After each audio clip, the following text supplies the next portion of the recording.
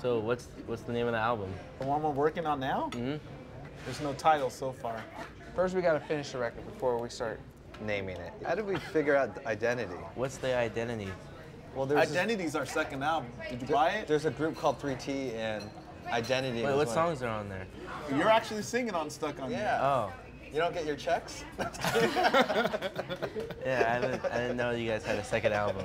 How old was Ro when that album came out? Stuck on You was out in 2003. Maybe Yeah. four. So you were you were about three years old. Yep. Doing Stuck Wow. on You. yeah. That was a big hit for us too, Ro. You guys are welcome. Thanks. The fans didn't know who it was. Oh, It was you, Royal. Fans didn't know you were even born or existent. I kept that real private. Because I wanted you to enjoy as much of your childhood as possible. Social But now with social media, there's no such thing as keeping a child private.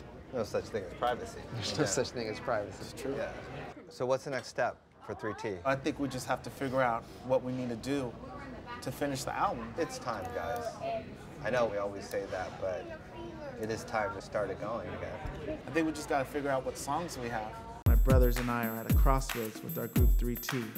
We're all on different pages and nothing's getting accomplished. We're not doing anything. I'd like to meet with you guys, get a game plan. You tell me the time I can be there. Are you available Wednesday? What time? 10. 11. You said anytime. You said you were available Well, why does it have to be 10? Wednesday at 10 o'clock. Can 11. you be there? 11, I'll be there.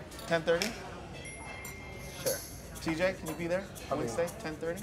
So early. 10:30. Okay. You'll be all right, Tosh.